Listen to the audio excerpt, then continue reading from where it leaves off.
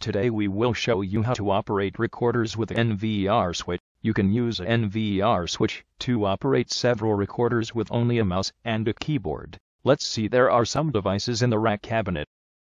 2 rack mount network video recorder.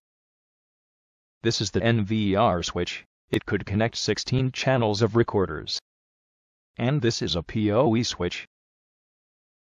Now we have turned to the back and see connections between these devices. Two Ethernet cables from recorders to the PoE switch. Two VGA outputs connect to the NVR switch. Also, it needs connect a monitor, a mouse, a keyboard to the NVR switch. One more thing, E-Track mount recorder could connect to an independent HDMI monitor. Each monitor won't be affected by others, even the user is operating the NVR switch. Now we are operating the first recorder.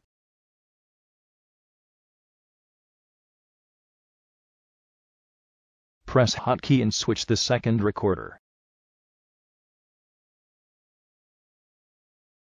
Switch to the first recorder again. Try to operate the recorder as usual, such as the instant playback, our new feature in recorders. You can quick search videos and playback.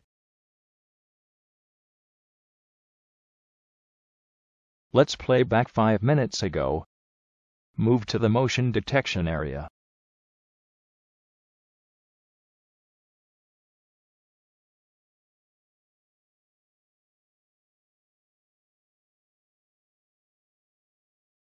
enlarge the image.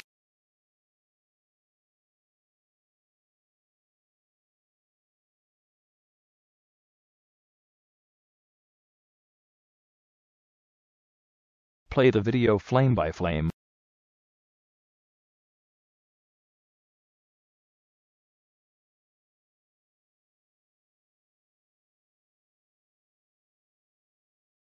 Meanwhile, we can switch to another recorder and operate it independently.